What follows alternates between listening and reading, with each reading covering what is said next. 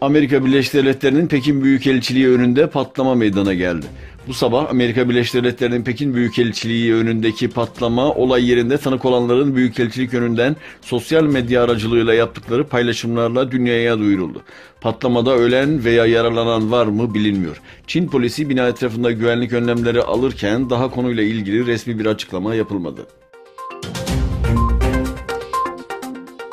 2009 yılında Çin'den ayrıldıktan sonra Avustralya vatandaşı olan ve Adelaide'de yaşayan 27 yaşındaki inşaat işçisi Almas Nizamettin, eşinin bir sabah sivil giyimli bir polis tarafından evinden alınarak götürüldüğünü öğrendi.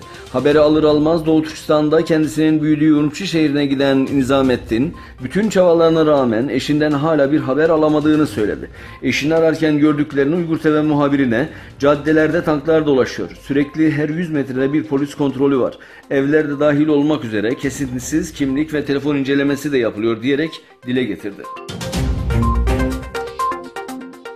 American Airlines, Delta Airlines ve United Airlines şirketleri internet sitesindeki uçuş noktaları listesinde ülkeler bölümünden Tayvan'ı kaldırarak varış noktasını Tayvan'ın başkenti Taipei olarak göstermeye başladı. İşgalci Çin yönetiminin Dışişleri Bakanlığı'ndan yapılan açıklamada Amerika Birleşik Devletleri havayolu şirketlerinin bu uygulaması olumlu bir ilerleme olarak nitelendirildi. Bosna Hersek hükümeti ülke sınırlarından yasa yollarla giren sığınmacılara karşı güvenlik düzeyini artırdı. Bosna Hersek Güvenlik Bakanı Dragan Mektiç ülkenin mülteci sorununa uluslararası standartlar çevresinde yaklaştığını ancak Bosna Hersek'in sığınmacı biriktiren bir ülke olmasını istemediklerini belirtti. Geçtiğimiz Mart ayında Rusya Cumhurbaşkanı Putin bizzat yaptığı açıklamayla Rusya'nın yeni yenilmez nükleer silahı RS-28 Sarmat'ı tanıtmıştı. Yeni nesil füzenin dünya üzerinde her noktaya gidebilecek menzile sahip ve Fransa büyüklüğünde bir alanı haritadan silebilecek güçte olduğunu belirtti. Amerika Birleşik Devletleri Başkanı Trump, Avrupa Birliği ile gerçekleştirilen ticaret anlaşmaları görüşmelerinden olumlu ayrıldıklarını bildirdi.